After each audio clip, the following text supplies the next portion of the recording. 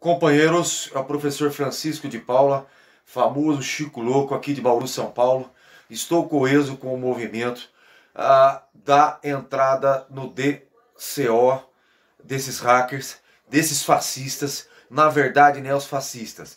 Vamos trabalhar juntos e vamos derrubar tudo isso.